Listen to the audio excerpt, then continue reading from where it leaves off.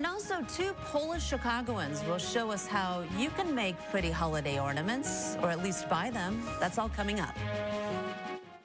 This holiday season, why not celebrate with something that says Chicago? We're taking a look at how these ornaments are made coming up.